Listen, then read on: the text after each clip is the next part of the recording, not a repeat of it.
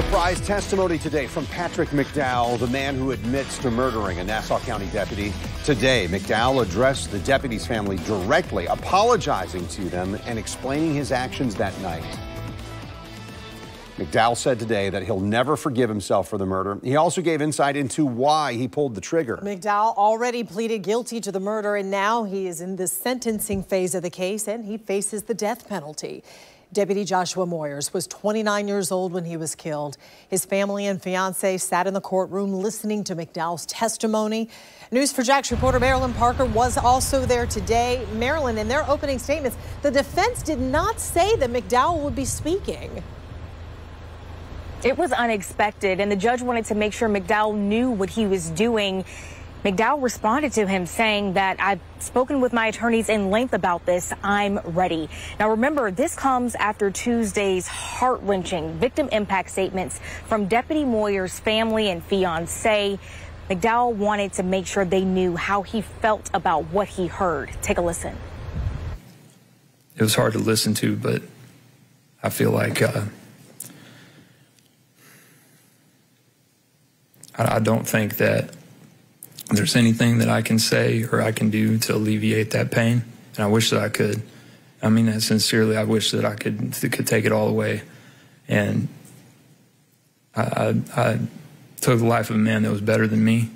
I'll never forgive myself for that. Even if even if they do find forgiveness for me, I'll never forgive myself for that.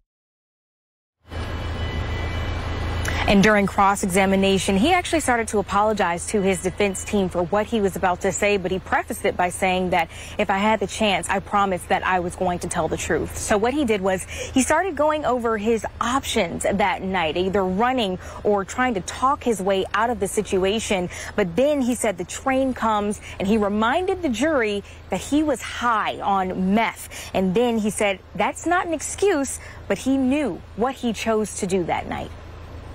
At the time, it seemed logical that if the train would come, I could take off across the tracks and him not pursue me. Once I started to hear it coming before the arms came down.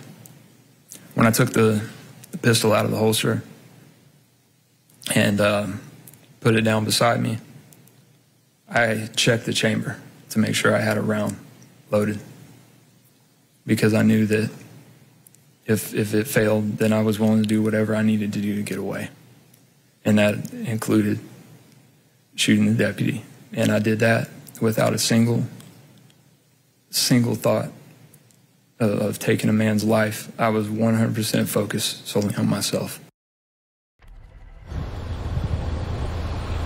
And it was during that part of the testimony that I saw Mc, uh, Moyers' fiance starting to wipe the tears, and his brother actually kind of sat there with a blank stare on his face when McDowell came off the stand and walked right in front of the family. I heard him say, I'm sorry yet again. The jury just paid attention very closely to McDowell. Their head would go to the attorney and then back to McDowell again, paying very close attention.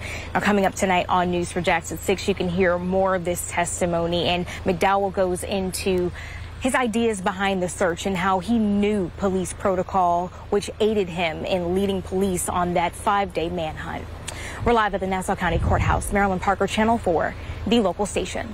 Wow. Marilyn, thanks.